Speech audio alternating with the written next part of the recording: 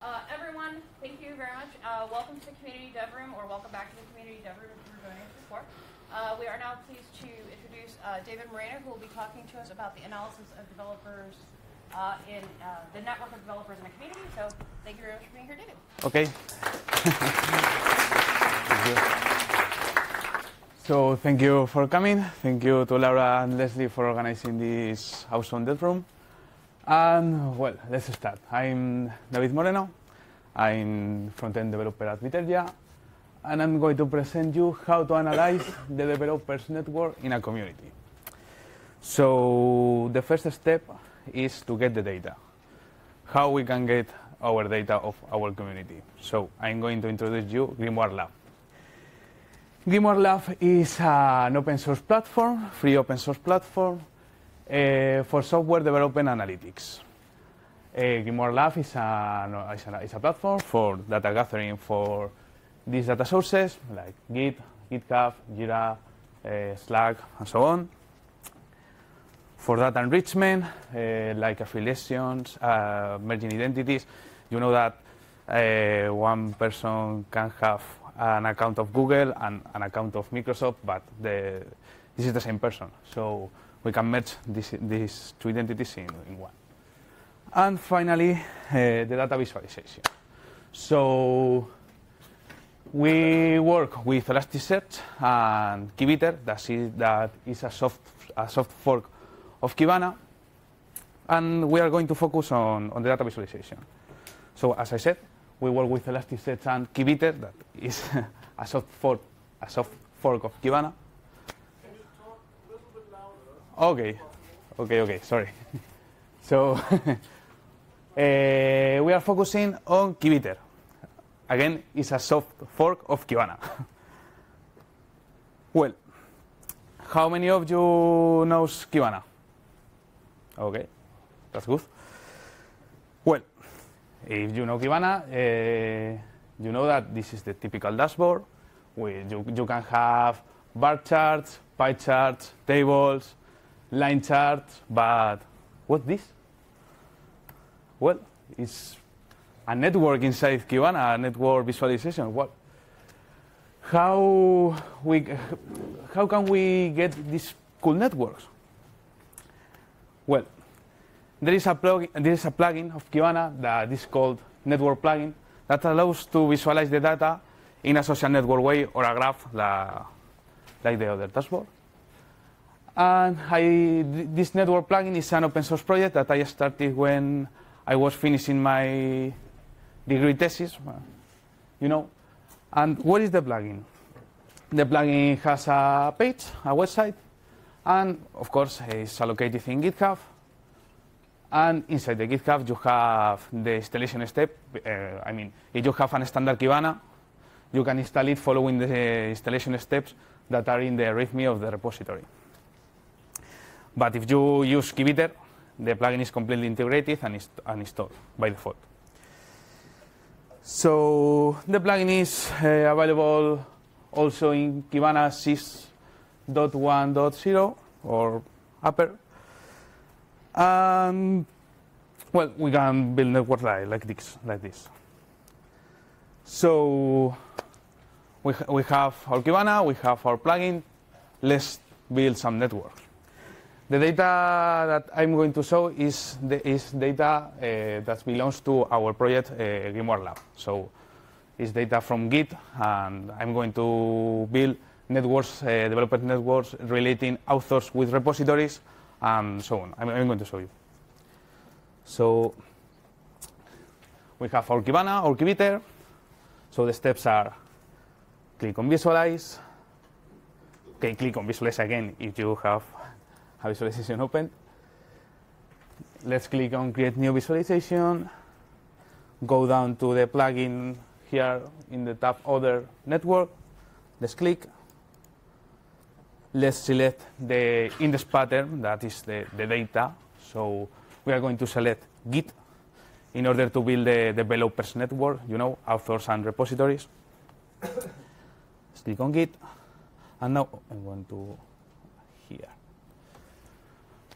And that's it. Um, wha- what is the first step? We are going to define the nodes. So let's click on node. Let's click on file.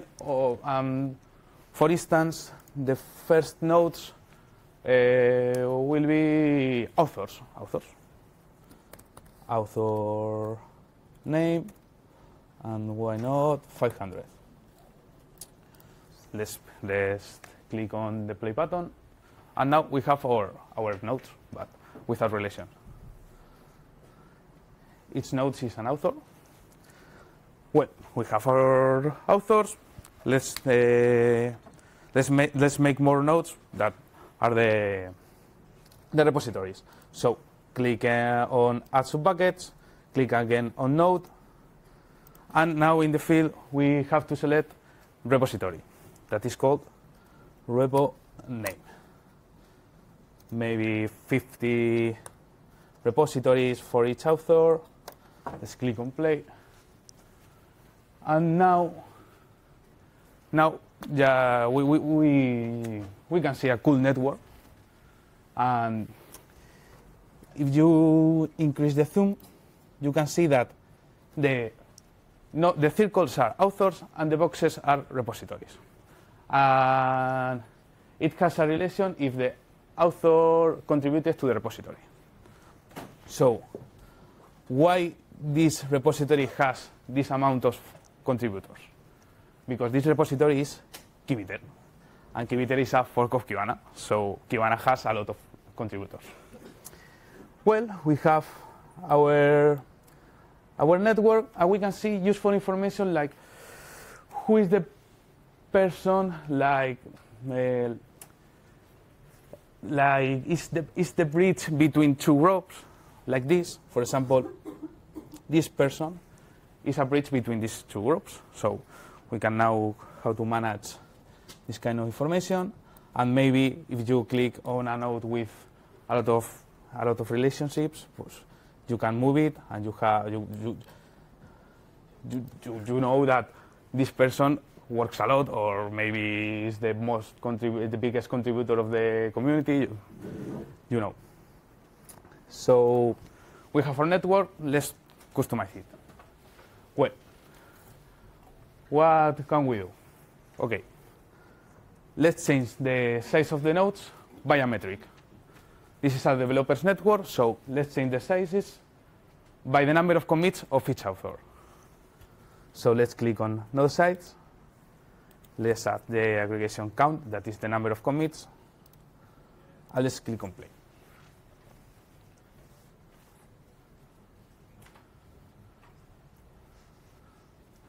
working. now we have different sizes, and you can you can see that who is the biggest committer of the community. Like you know that you, you, you can see that big node. That's well, so it's the biggest node, and also has has contribute has contributed in all the repositories. I think so. Maybe he's a little bit stressed. I don't know.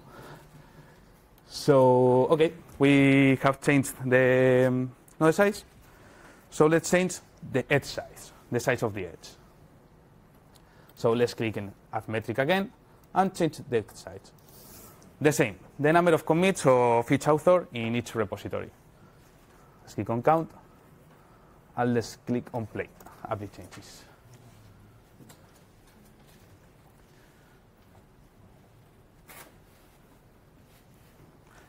Now we have uh, different sizes for the nodes and for the edge. And well, it's a cool network. I, I like it. It's, you can now have the distribution of your Git community of your project. Well, but I, got, I, I want to, to customize more. So let's change the color of the notes. For instance, let's change the color by, its orga- by their organization. Okay? Let's click on Add Subbucket. Let's click on the field Node Color, Node Color, and let's select the field org organization, that is org author org name. And let's select one organization per author. Let's click on Play. Okay, don't worry. And let's try again. author name, one. Okay, I can't. Maybe it's the memory of the Docker of the Docker instance. So let's try again. author or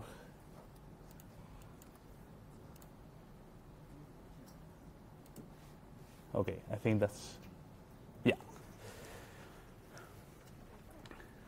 Now we have different colors of uh, in the nodes. Which colors are defined? Well, we have the legend of colors, and you have the different organization, and the color of each organization. So you can see that this, uh, this node has the same color because this is my team and this Bitergia, so we have the same color. And well, we have our cool network, so I think this is interesting. So I, I have put in the slides a user guide in order to, if you want to try it at home or in order to play, in order to broke my plugin or whatever you want. So you can follow the steps, by steps, so later if you want. And there is more options in the plugin in order to customize more the, the network. And you can customize it uh, like this, for instance. A little bit of, of structure of the plugin. This is the structure of the plugin. The plugin is developed in Angular. So if you know Angular, there is a controller, there is a template, but it's more technical, so I'm going to pass it.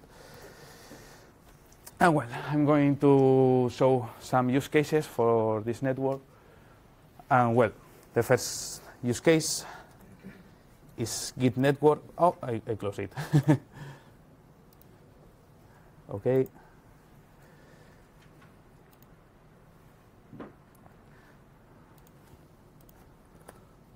The Git network is the, that is the same network that I, I've just built. So you have an entire dashboard with information of tables, information of bars, pies, but you also has the the network. That is useful because you it's easy to know how is the distribution of your community. I think it's it's very clear. So if you want to filter in in one field, for instance, Bitergia, the plugin will reload and now just just show information about the field. And but that that's not all. So we can we can show information about, for instance, a Slack community. So this is funny because with this kind of network, you can see who is the most talkative person in the community. so, I so you know, did you see? Well, do you, do you see the biggest node? So he, he probably is the most talkative person in the in the in the community. That is funny because you have different sizes, you have different channels. The boxes are channels and the circles are users. And well, in, if you put a tag cloud with the most typical words that we use, you know, about morning, uh, something. That's words. yeah. These are emojis, so the reactions. And well, but that's, that's, not, so, that's not all again. We can analyze uh, Git, Slack, but we also can analyze GitHub, GitLab, Bitbucket, Jenkins, uh, Jira, and so on. Um, maybe, why not Marvel? Marvel Comics, why not? Well, this is a network that relates authors of Marvel Comics to the comics. So you can see all the networks with the tag cloud, with the most, you know, Stan Lee is the most important uh, author of Marvel, and well, it's useful information. And you can, if you have data on Elasticsearch and you have a Kibana with the plugin, you can build with this, with this, with this network whatever you want. And there is a user guide there is a repo. Uh, if you have any issue, any pull request, any question, whatever you want, please send me an email. Um, send me an email. Uh, open me a pull request. Whatever you want. I really appreciate it. And well, I think I'm done. So, if you have any questions? Yeah. So, uh, for example, the, the comics, right? So, Yeah, the comics. Possible, like to, um, provide the data, any kind of data, or my own data to the plugin so that it works on it. So basically, the data will be available in like in Elasticsearch, right? Yeah, you, uh, you, you, you have to have an Elasticsearch with data because Kibana runs with Elasticsearch. So this is a plugin for Elasticsearch, but you can, you can use Grimoire Lab, any data, yeah. But you can use Grimoire Lab tools and you can upload your data. This on my uh, on my chat network to see who is the most. Okay. okay, any other question? Yeah? I'd like to ask about interpretation of those graphs. Okay. We can produce cool, nice looking graphs, which is fun. Uh, I'd like to know what is the knowledge you can take from those graphs. The knowledge of the graphs. The Yeah. for those. Okay, what's the Yeah, question? you, you produce this type of graphs about GitHub Uh-huh. projects. And what do you what do you actually know once you produce these graphs? What actually know? Did they produce the graphs? Ho- Sorry? What did they learn from producing the graphs? Well, it depends on the data. You know, if you have, for instance, I built a network with authors and repositories. Uh, you, you can know who is the biggest contributor, but if you use Slack, the most talkative, if you use, use a ticket tool, who is the ticket who are still open. So it depends on the data. But if you have any question, please send me an email and I just get out of top of that. Um, Yeah. Your answer that you can also a really nice indicator to see the relationship between developers. I mean, without the network feature, you can see that project per repo, but for actually studying people and studying the relationships and how they progressively contribute to other projects and the connection between them, then this feature is really nice. Not to study, not to actually study, but also just to get some indications. Yeah, yeah, yeah, of course. Yeah. This is always, I understand the first question, because it's always a, a double-edged sword. Yeah, You can yeah, yeah, of course. understand how people function and be beneficial to them, or you can also observe the negative consequences that are. Yeah, of course, but So yeah, I think the primacy of the question, asking what I want to learn, it might be uh, an important uh, starting point rather than putting it at the making the learning process dependent on the data. Maybe starting by asking what I want to learn uh, can be a constructive approach to the project also.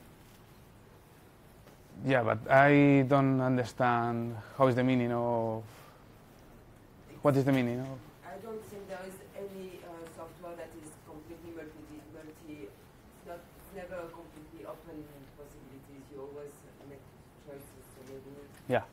present, presenting, uh, making the, the choices for a specific aim is uh, would be nice to hear.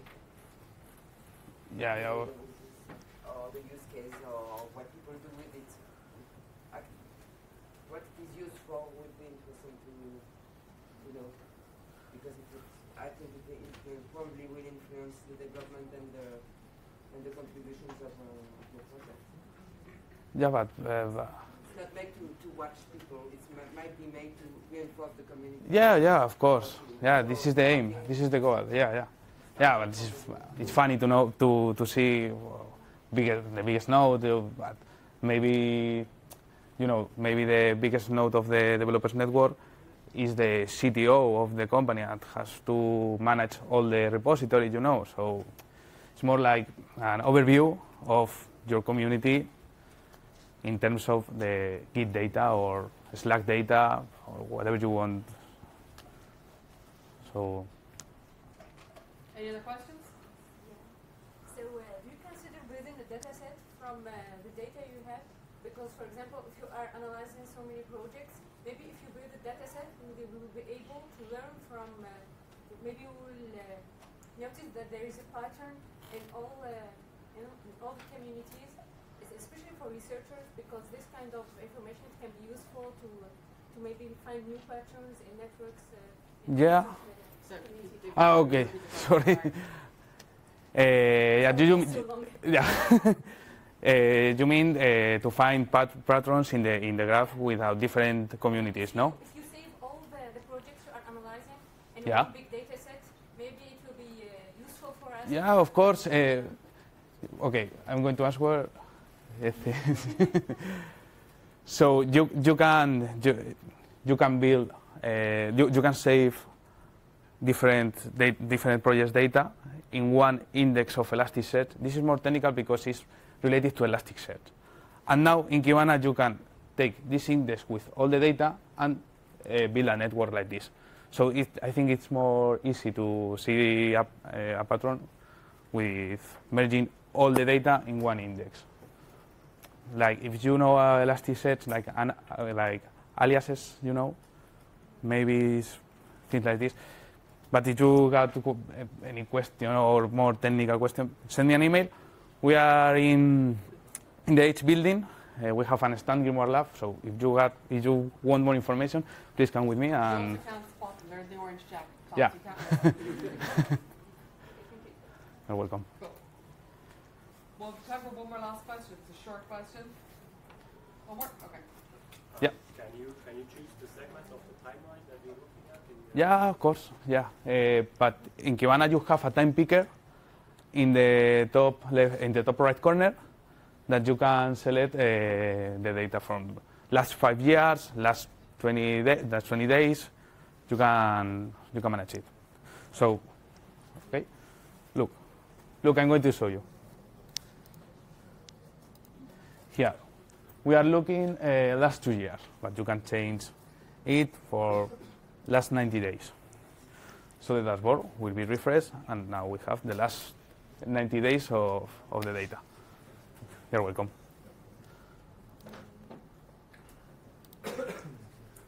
Okay. Thank you.